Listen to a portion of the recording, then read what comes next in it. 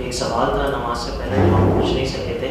फिर नमाज़ के बाद वापस हम ये सिलसिला शुरू करते हैं। फॉरवर्ड किया था। एक साथी ये पूछ रहे कि गजबा हिंद जो है, वो तो इंडिया के खिलाफ होगी, हिंदुस्तान के खिलाफ होगी। तो वहाँ पर जो मुसलमान हैं, वो क्या करेंगे? वो हिंदुस्तान के साथ होंगे, उनके खिलाफ होंगे, उनके लिए क्या इकदाम हैं? वो क्या करें? उसको क्या करेंगे तो इसमें जो इंडिया के मुसलमान हैं उसमें एक तो ये है कि वो उनको बिल्कुल भी नहीं ज्वाइन करना चाहिए कुफार की तरफ़ से, क्योंकि वो तो फिर उनके साथ हो जाएँगे। और दूसरा ये कि पाकिस्तान जो मैंने ड्रीम्स में देखा है, पाकिस्तान हिंदुस्तान में जो मुसलमान होते हैं, उनके लिए भी एफ़र्ट्स करता है, उनकी सेफ्टी के लिए। इवन कुछ जो होते हैं, उनको मेरे ख्याल से पाकिस्तान भी लेके आते हैं। तो जैसा कि मैंने पहले भी बताया था कि हम मोहम्मद सल्लल्लाहु अलैहि वसल्लम की जो जंगी असूल हैं उनको भी हम फॉलो करते हैं। तो वो जो करोड़ों औरतें बच्चे और बुज़ुर्ग बुरे बच जाते हैं तो आ, उनके साथ साथ फिर हम जो मुसलमान होते हैं हिंदुस्तान के उनको भी अल्लाह की मदद से ऐसे ही उन, आ, उनको भी बचाते हैं। तो उनका कोई इतना डिटेल में नहीं आया तो बस ये इतना ही है। अच्छा उनका सवाल ये कि जो है, जब नवाज़ शरीफ का कत्ल हो जाएगा, उसके बाद अफ़गानिस्तान और इंडिया जो पाकिस्तान पर हमला करेगा, उसके बाद क्या सिचुएशन होगी? हम उनके जो कुछ एरिया पर कब्जा कर लेंगे, क्या उसके बाद सूरत होगी? असल में ये है कि जो नवाज़ शरीफ वाला ड्रीम है, वो एक अलग ड्रीम है। वो और जो इंडिया अटैक करता है, वो अलग ड्रीम है। तो जो मैंने नवाज़ शरीफ वाले ड्रीम में देखा है कि वो जब इंसिडेंट होता है तो उसके बाद लोग बहुत ज़्यादा ड्रीम्स पे बिलीव करते हैं। यानी बहुत ही ज़्यादा। और लेकिन उसके साथ साथ ऐसी सिचुएशन भी पैदा होती है कि इवन वो आर्मी से भी नहीं संभाली जाती।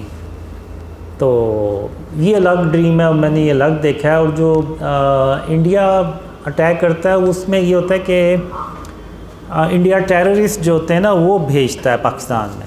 लेकिन पाकिस्तान की फ़ौज उसको मारती चली जाती है। जो भी भेजते हैं वो मार देते हैं। तो एक वक्त आता है कि उनके जो सब्र का पैमाना है ना वो लबरेज हो जाता है। वो फिर कहते हैं कि अब हम पाकिस्तान के अंदर से अटैक करेंगे। तो वो फिर अंदर से अटैक करते हैं और करते ये हैं कि वो जो पाकिस्तान की जो फ़ूड होती है ना, उसमें कोई वायरस सा ना मिला देते हैं या केमिकल सा। तो उसके खाने के बाद वो पाकिस्तान की फ़ौज पैरालाइज हो जाती है।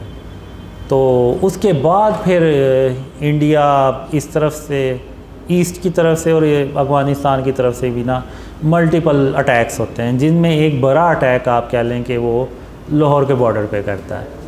अब उसमें ये नहीं है कि वो लाहौर चला जाता है या फिर वो डैमेज हो जाता है। अब उसमें ये होता है कि जैसे वो बॉर्डर्स पे एक, झड़पें हो रही हैं, जंग सी हो रही है इस तरह से। तो अब आप अगर देखें तो जो डीएचए के जो कुछ फेजेस हैं वो बिल्कुल ही बॉर्डर के करीब चले गए हैं। तो अब वो भी चले गए होंगे और जो लोग हैं वहाँ पे उन्होंने भी घर बना लिए होंगे सारा कुछ।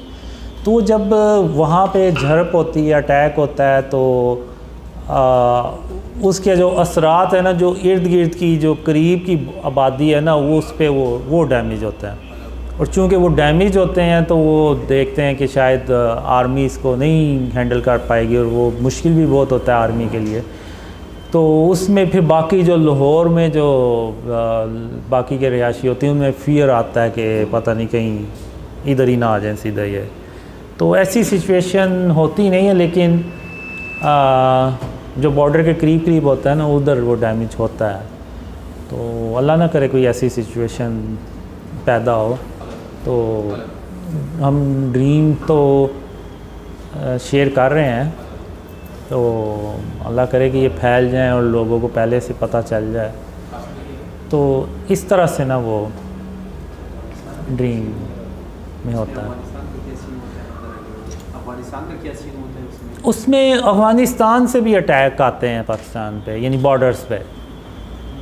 यानी पाकिस्तान को दोनों तरफ़ से ना अंगेज किया जाता है।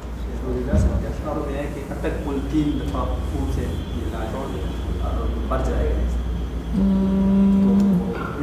कह रहे नेमतुल्ला शाह वलीउल्लाह ने जो है अपनी पेशन गोयों में ये भी किया था कि अटक पुल जो है तीन दफ़ा लाल हो जाएगा और नीचे बढ़ जाएगा। तो ऐसा कुछ आपने देखा? गालिबन ये पूछना चाह रहे हैं बाबों में कि अटक पुल तक अफ़गानिस्तान से लोग आ जाएँगे। अब इसका मुझे नहीं पता। अब जो ड्रीम्स में मैंने देखा है कि वो सिचुएशन तो पाकिस्तान की काफ़ी ख़राब होती है। इसमें ये होता है कि आर्मी के लिए काफ़ी मुश्किल हो जाती है। इवन जो शहरी होते हैं, उनको भी बीच में वो भी हेल्प के लिए जाते हैं। तो अफ़गानिस्तान से जब होता है तो ज़ाहिर सी बात है, उधर भी काफ़ी, यानी डैमेज तो होता है बॉर्डर के करीब।